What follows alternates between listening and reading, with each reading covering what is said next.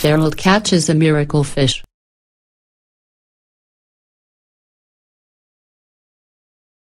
Gerald was deeply concerned about his tax problems. Then he remembered what Jesus said in Matthew 17:27. Go to the sea, and throw in a hook, and take the first fish that comes up. And when you open its mouth, you will find some money.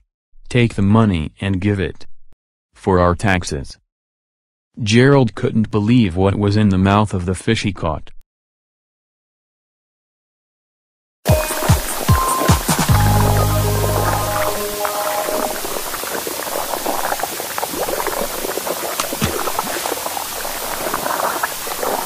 Gerald returned the card to the owner.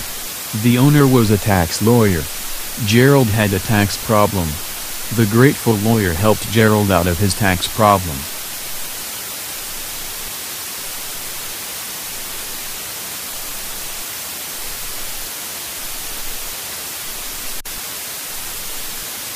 In the seven-year tribulation, the Antichrist will not tax the church.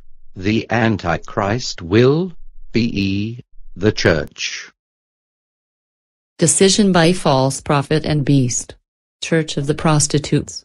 Money maker. Very popular. The false prophet and the beast had decided that a splendid thing would be to have a church of the prostitutes. The church of the prostitutes would be a real money maker and very popular. I once was a Catholic until I was left behind. I always wanted to be a prostitute.